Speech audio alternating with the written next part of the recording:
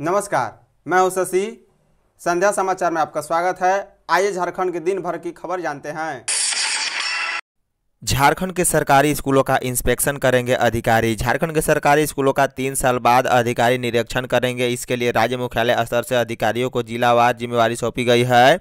प्राथमिक शिक्षा निदेशक चंद्रशेखर, माध्यमिक शिक्षा निदेशक सुनील कुमार, झारखंड शिक्षा परियोजना परिषद की राज्य परियोजना निदेशक किरण कुमारी पासी समेत मुख्यालय के अन्य पदाधिकारी इस काम में लगाए गए हैं। इसके लिए स्कूली शिक्षा व साक्षरता विभाग के सचिव के रवि कुमार ने अधिकारियों को जिलावार ज़िम्मेदारी दे दी है।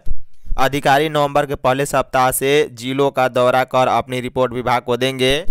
बता दें, प्राथमिक शिक्षा निदेशालय चंद्रशेखर को खूंटी झारखंड शिक्षा परियोजना परिषद की राज्य परियोजना निदेशक किरण कुमारी पासी को रांची, माध्यमिक शिक्षा निदेशक सुनील कुमार को रामगढ़, शिक्षा विभाग के संयुक्त सचिव अक्षय कुमार को गुमला, मध्याह्न भोजन प्राधिकरण के विशेष कार्य पदाधिकारी मुकेश कुमार को जमशेदपुर, जेसीआरटी के उप निरीक्षक प्रदीप कुमार चौबे को देवघर, प्राथमिक शिक्षा उप निदेशक अरविंद विजय को धनबाद प्राथमिक शिक्षा के उप निदेशक अभय को दुमका सौंपी गई है। झारखंड में 2000 करोड़ की लागत से बनेगी 31 सड़कें। पथ निर्माण विभाग की ओर से तीन दर्जन से अधिक सड़क योजनाओं का डीपीआर तैयार करा लिया गया है। करीब 2000 करोड़ की योजनाओं का डीपीआर बना है। अब इन्हें जल्द ही स्वीकृति दे दी जाएगी। ऐसे में इनकी तकनीकी और प्रशासनिक स्वीकृति की प्रक्रिया शुरू होगी। फिर टेंडर करके काम शुरू कराया जाएगा। यह लक्ष्य रखा गया है कि इसी साल इस योजना का काम शुरू कराया जाए। इन योजनाओं का डीपीआर तैयार किया गया है। बता दें अनगढ़ा हाहे राहे पथ का चौड़ीकरण में अड़सठ करोड़, वहीं रांची में बिरसा चौक से धुरवा गोल चक्कर तक उनचालीस करोड़, रांची में मुड़मा चौक से पाली भया, सुरसा, मसमानो और बासकी तुतियांबे पथ का निर्माण 28 करोड़ से कराए जाएँगे। Jharkhand industrial park and logistic policy लागू। Jharkhand industrial park and logistic policy 2022 लागू हो गई है अब राज्य में निजी क्षेत्र के जो भी औद्योगिक पार्क या लॉजिस्टिक पार्क बनाए जाएँगे, उन्हें राज्य सरकार की इस नीति का लाभ मिल सकेगा। नई नीति में इंडस्ट्रियल पार्क के आकार और क्षमता के अनुरूप सब्सिडी का भी प्रावधान किया गया है, जिसमें परियोजना लागत के 50 प्रतिशत तक सब्सिडी दिए जाने का प्रावधान है।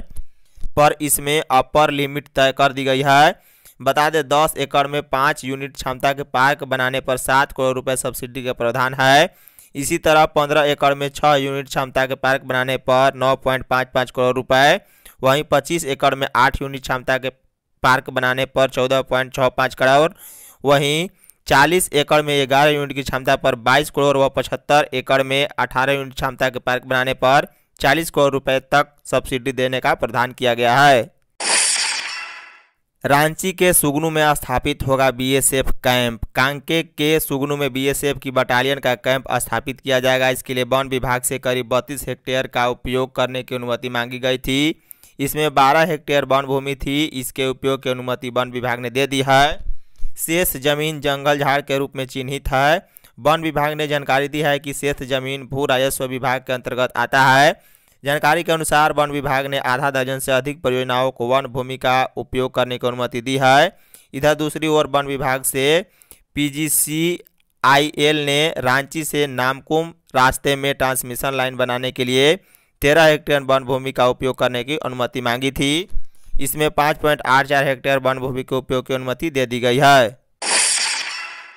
रांची के छठ घाटों में मौजूद रहेंगी डॉक्टर की टीम। स्वास्थ्य विभाग ने छठ पूजा में किसी भी आपदा स्थिति से निपटने के लिए खुद को तैयार रखा है। इसे लेकर सिविल सर्जन कार्यालय की ओर से आधा दर्जन टीम का गठन किया है।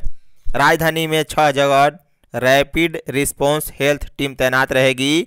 बता दें, सभी छह टीमों को रविवार को अपराह्न दो बजे से देर रात तक, फिर अगले दिन प्रायः दो बजे से अर्घ के समापन तक के लिए लगाया गया है। पूजा के दौरान, किसी भी अनहोनी के दौरान, यही टीम लोगों को फास्ट एंड ट्रीटमेंट उपलब्ध कराएगी।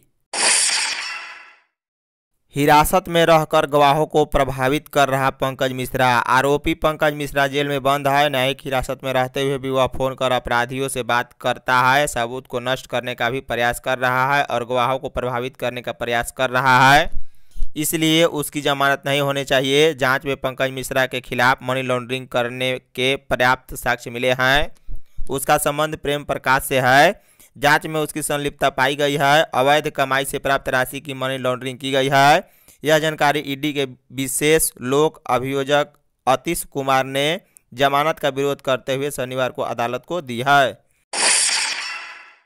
झारखंड के किसानों को मिलेगा पैंतीस सौ रुपये एडवांस। आपदा प्रबंधन प्राधिकार की बैठक शनिवार को मुख्यमंत्री हेमंत सोरेन की अध्यक्षता में उनके सरकारी आवास पर हुई। इसमें कृषि विभाग की ग्राउंड ट्रूथिंग रिपोर्ट के आधार पर राज्य के 22 जिलों के 226 प्रखंडों को सूखाग्रस्त घोषित कर दिया गया है।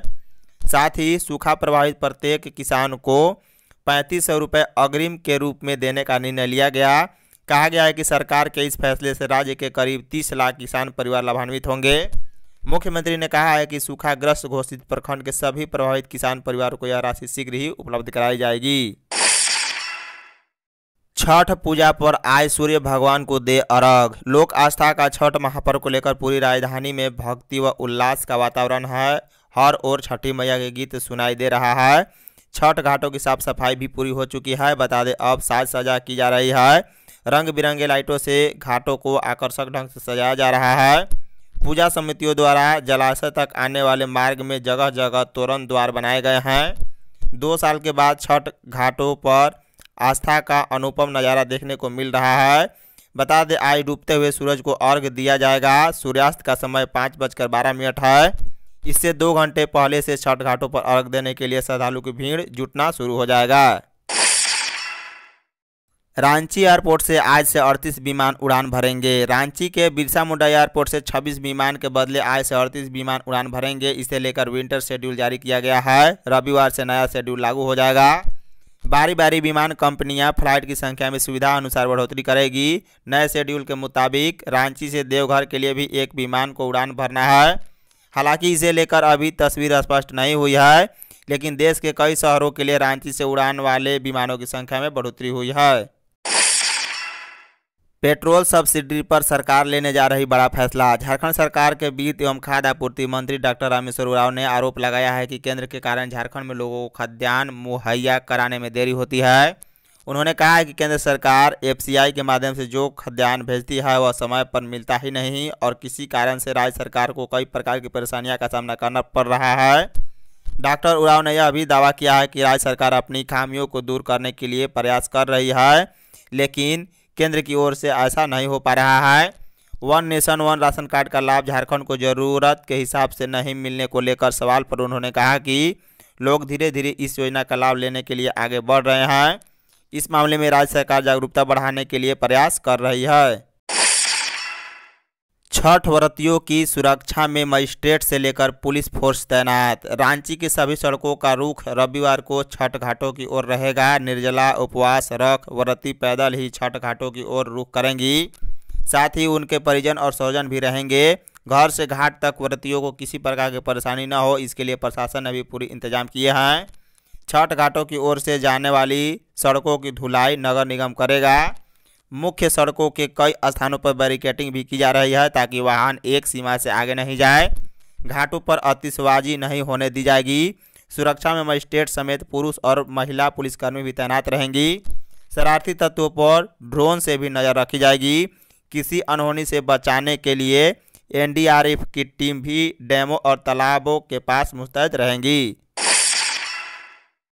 रांची रेल मंडल के स्टेशनों में यात्रियों को मिलेगा जनता भोजन। रांची रेल मंडल के स्टेशनों पर यात्रियों को अब जनता भोजन मिलेगा। Indian Railway Caterers and Tourism Corporation के ग्रुप महाप्रबंधक ज़फ़र आज़म ने स्टेशन के सभी स्टॉल संचालकों को जनता भोजन हर हाल में उपलब्ध कराने का सीधा निर्देश दिया है।